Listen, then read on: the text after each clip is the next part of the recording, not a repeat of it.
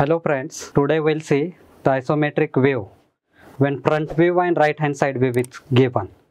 Again here you will find non-isometric surface at the same time hole in it. So uh, front view and side view it looks simple but one of the typical example of isometric view that we'll see. So first we'll prepare the box. For that length is required. It is directly given 54. Width in the side view we can have 80 and height is 90. With these three dimensions easily we can mark or we can draw the isometric box. First mark the height axis which is vertical one then next axis which is going to be length one so it will be from the origin length so it is going to be parallel to width it is going to be parallel to width. And third axis length is towards left. Third axis it is going to be length one. And intersection of this three axes it is going to be origin. It is going to be origin. Then after that mark length width and height. Length is towards left from the origin. And it is how much? It is 54 then 10 20 30 40 50 54 will be at this place. Length is 54 width is 80 and height 90 height is going to be 90 90 means 20 20 20 20 80 plus 10 90 this is 90 and once we mark uh, remove this vertical line with the help of eraser up to the perfect height only this. Please uh, remember this neatly. And then so length we have marked. Draw the vertical line height is more that's why you can mark the line like this. Similarly on this side also you can mark like this. Then from the height parallel to length and line parallel to width. Once we mark this then from this intersecting point again line parallel to width and from this line parallel to length. So length is 54 width is 80 and height is 90 such isometric box is the initial phase. Once we draw the isometric box again i'll suggest in the front view also some portion is missing. At the same time in the side view is also it is missing. But for taking the cut of the isometric box always such cut is more easier. Triangular cut means this portion it is missing in the side view. So whatever this part is there so that we can remove that we can remove from this box itself. And how we can remove? So whatever this it at the bottom in the side view it is 80 and at the top it is 38 then first you mark whatever this 80 is there mark its center. It will be useful later on. Correct. This is the center. And from this it's not 20 19 19 on both sides. So this is 19 and on this side also it is 19 so this portion only we have to keep. This portion we have to keep and the remaining we have to remove it. Means from this or before that you can join these two points.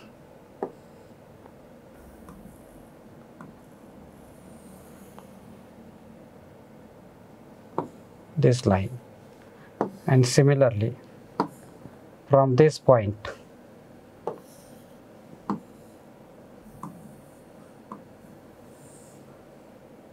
we have to remove it.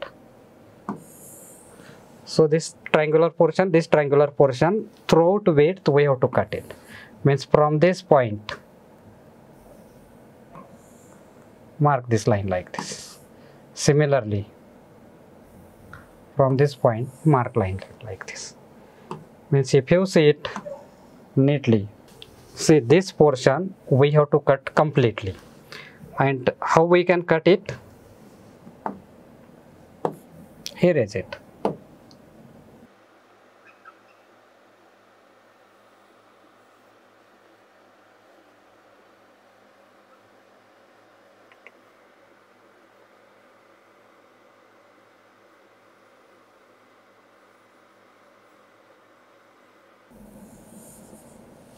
this portion has been removed so that backside edge is hidden but we'll have to mark this edge so this edge will be parallel to this line.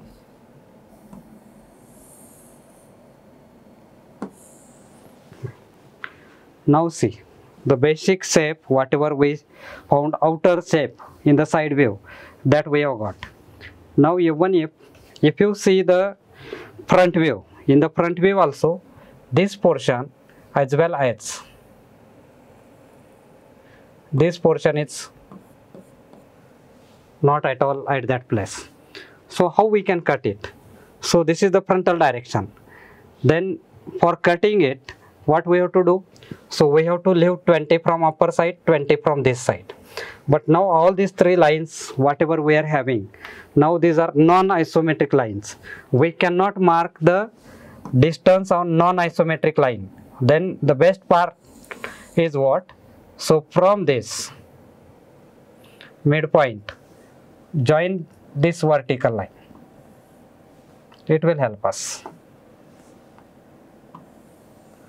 Mark the vertical line and its height is going to be 90. So over this 90, mark 20 from lower side, 20 from upper side.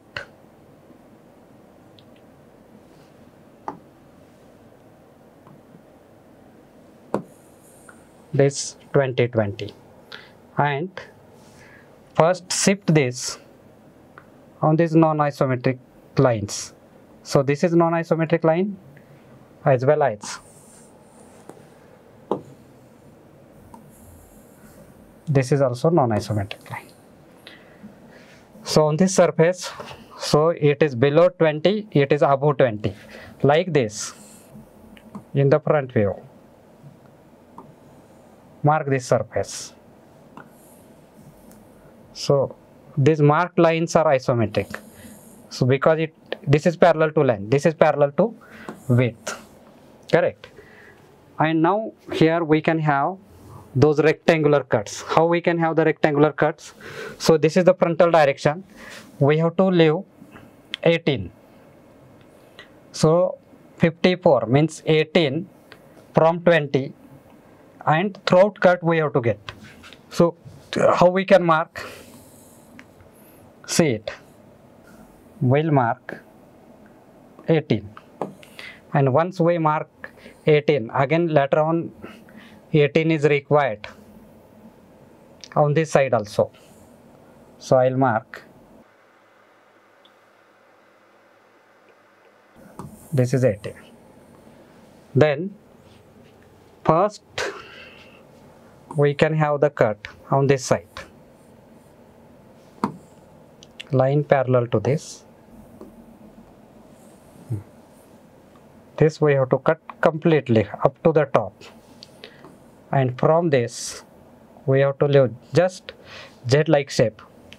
So from this we have to cut this up to the bottom. This up to the bottom and when we are taking this cut throughout its width when we are looking from the front view this rectangle is being cut. Like this.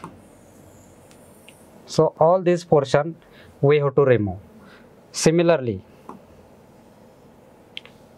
on this side this portion we have to remove. And in this problem the scale is what? So which portion we are removing? That if you understand so you will understand uh, you can solve this problem in very simple way. Now see it. This portion i'll remove directly from the box. It is 18 and its depth is up to 20 it has been removed. Now so we get some additional edges. How we can mark those edges? So backside also i'll remove. So we get that z shape.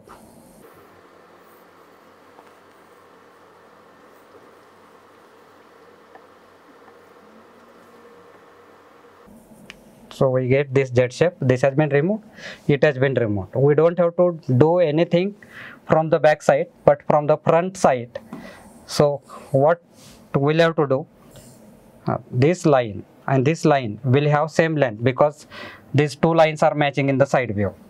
Then how we can mark it? So whatever this length is there so this length over here it is 70 plus little bit more than 70 so I'll mark the same length because in the side view it is matching perfectly.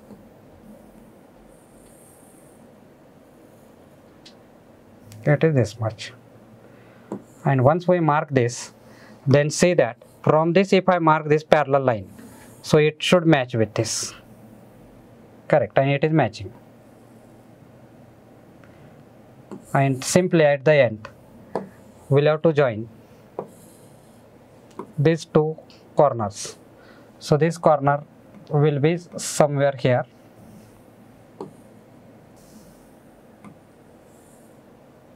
correct so if you follow this procedure it is very simple to draw the isometric view of this object except that wall. Everything is finished. Then your task is what? Make it dark. So these are the light lines. How we are going to make it dark? First mark all the lines parallel to width. It is one. It is second line it is third line.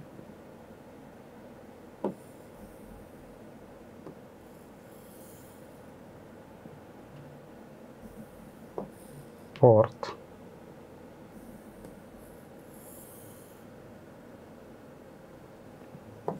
So these are the lines like this. Then parallel to length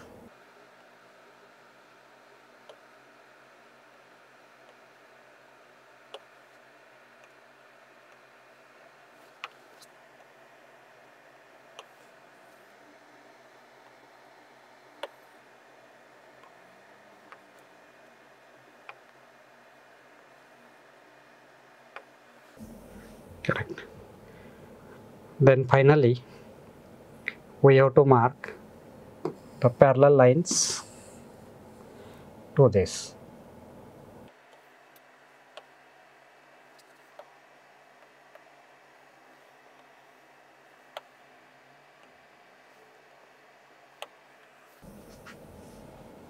It is dark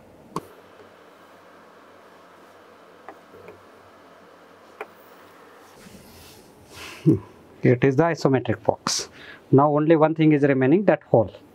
And for marking the hole what we have to do? Before that one edge is remaining.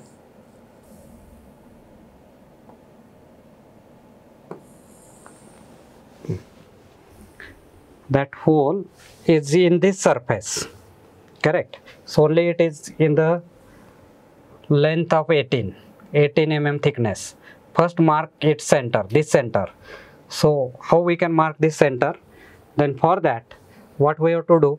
From the midpoint from the midpoint of this actually it is 38 means we have to mark 18 19 and from that 19 mark the vertical line.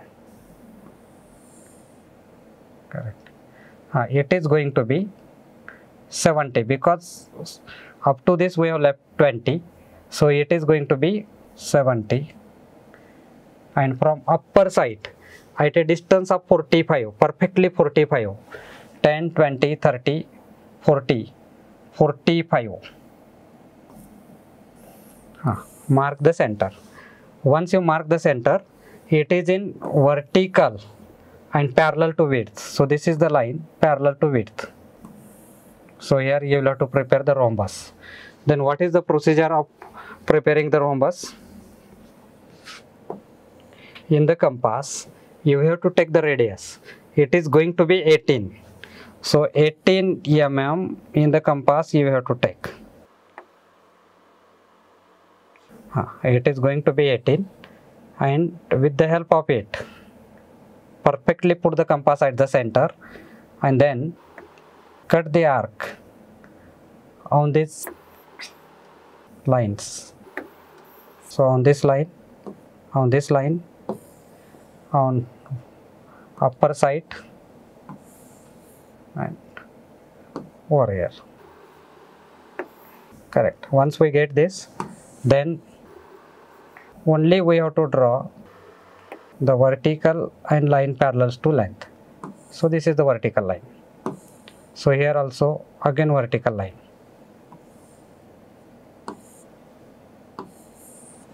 And line parallel to width.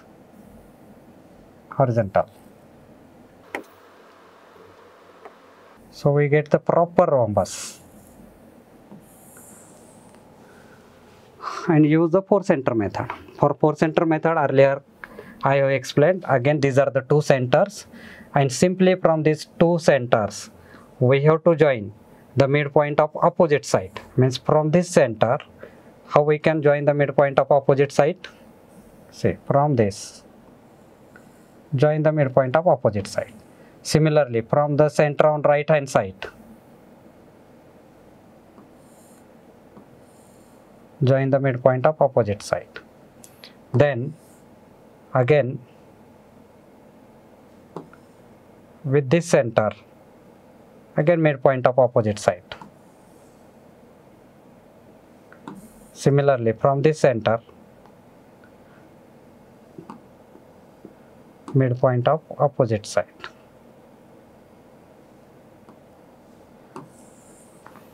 We get the four centers. Once we get four centers then use the compass. Keep the compass at this place then in the compass take the radius up to the midpoint of opposite side. Just check. It is perfectly matching. Means our center is right. From this midpoint to this midpoint. Leave it. Then shift the center at this place with the same radius. Mark this. Then shift the center